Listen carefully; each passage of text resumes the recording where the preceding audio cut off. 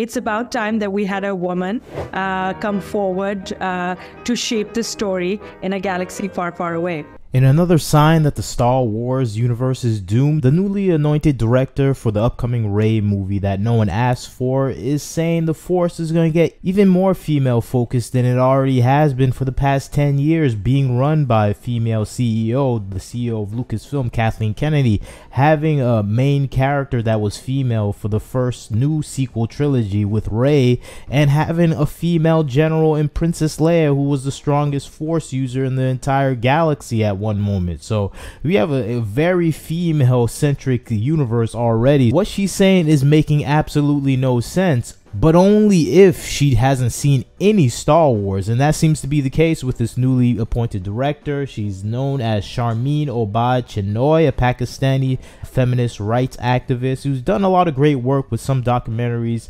focused on the inequality within Pakistan and Muslim communities when it comes to female rights and just rights in general for a lot of human beings in that area and some of the, the horror stories they actually inflict on some uh, women in those uh, countries. And I think she does excellent work with that type of material. But when you're coming to Star Wars, we're not focused on that type of material. We're focused on sci fi, fantasy, epic cases of the hero's journey displayed in cinema screens across the world. We're looking for something uh, beyond our fantasies. And what she's speaking about when it comes to Star Wars is coming from a person who's a complete novice to the universe. And I think this is something we've been clearly seeing with Disney when choosing directors for historic franchises or properties like Marvel, like Star Wars, or like some of these Disney fairy tale movies. They're choosing people that don't care about the source material, don't care about the property that they're working on, and are coming with their own political ideology. No matter how supportive you are of some of her ideology, it has no place in Star Wars. It doesn't have a priority in Star Wars. I think what she's bringing to Star Wars is probably ultimately going to doom it. And I think a lot of people online are saying the same thing with some of her statements where she's saying there are no female heroes in Star Wars when Star Wars has been heavily built upon the backs of a lot of female heroism, a lot of powerful female leads. We're talking about a Star Wars that had uh, Princess Leia shooting guns side by side Luke Skywalker. We're talking about Star Wars that had Queen Padme, who was in the, the prequel trilogy, fighting alongside Anakin Skywalker. We had all these characters. Rey, who had three sequel trilogy movies where she was the most powerful person in the universe. And, uh, and we're not even mentioning General Mon Mothma from the original trilogy that was the general of the rebel forces. We had so much strong women in this universe, and we're not including Rebels, Ahsoka that just recently released, which was all female dominated, whether the villains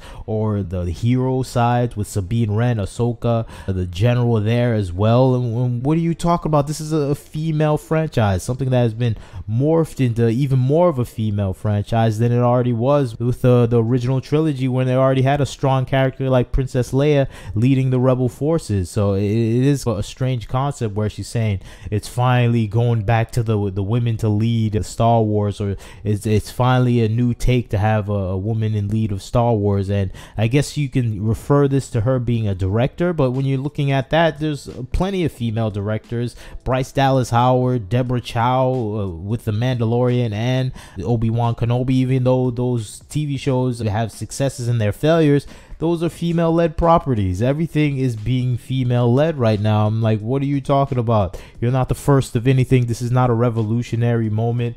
You're just here to direct a movie, make a good movie. But no, it's already a political farce uh, of a, a showing right now. And this director, who absolutely has no idea about Star Wars, is trying to to make something groundbreaking in a world that it isn't groundbreaking. This is not something new. This is something tried and true since the uh, original trilogy for Star Wars. So her saying it's about time that we had a woman come forward to shape the story. A woman has been shaping the story for the past 10 years, of course, in a way that was leading to failure, but she's been shaping the story. I'm talking about Lucasfilm President Kathleen Kennedy. She's been shaping the story. That's why you have a job here. So the just the, the complete ignorance of this person. It just shows their uh, overall lack of understanding of Star Wars. They don't know what's happening with Star Wars. They probably never seen Star Wars, and they probably only have a, a surface level understanding of it. They still think Luke Skywalker is the lead.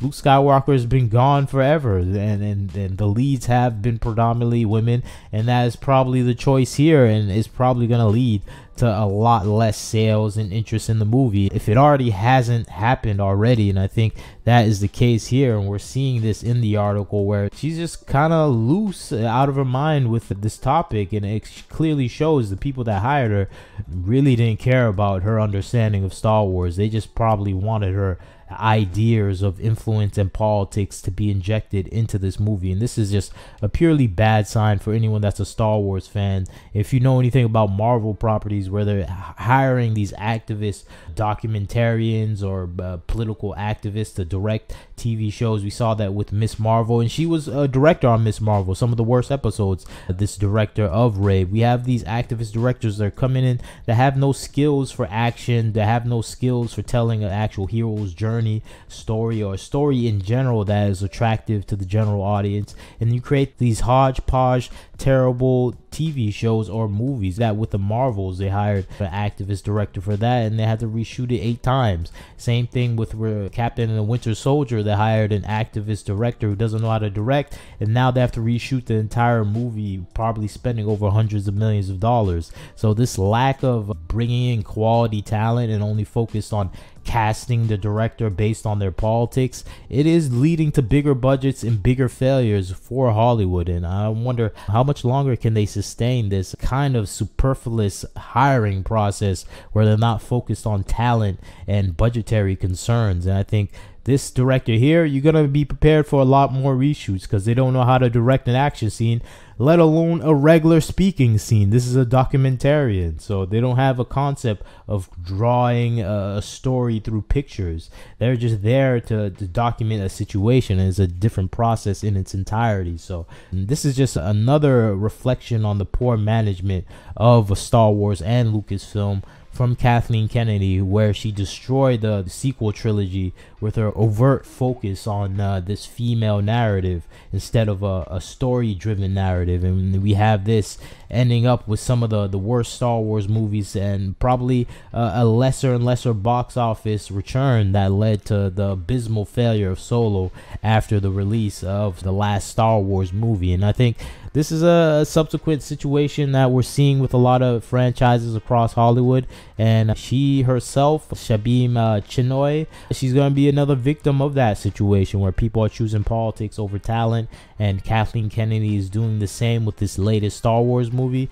But for me, it's going to be quite interesting to see how bad this movie comes out. It's going to be a big failure, at least in my projections. But uh, a lot of people are looking forward to that failure because they want to see Star Wars end in a, a, miserable way because Kathleen Kennedy has destroyed it, the essence uh, of Star Wars. But uh, it is interesting to see this director speak out on this situation. I never really expected any great things from her, but like I said before, we have so much female characters in Star Wars. I'm thinking, how much more female? Do you just want to eliminate all the men? If you wanted to do that, just say that. Uh, don't you don't have to c- come up with this front of being an activist for women. No, you just say you hate men and you want to eliminate them from Star Wars, even though you probably never even watched Star Wars in the first place. But you tell me your thoughts on the situation. What do you think about Star Wars? Oh yeah, I even forgot. Acolyte is already a super feminist led property, so it's just it. This person doesn't know what they're talking about. But anyways, you tell me what you think about the situation. Like, share, and subscribe. Do you think Star Wars is doomed to failure with this director? I think obviously so. But we had Kathleen Kennedy for ten years, so it was already written written in the stars that Star Wars is over. But leave your thoughts, like, share, and subscribe. This is Wagner Knows Why. Catch you next time.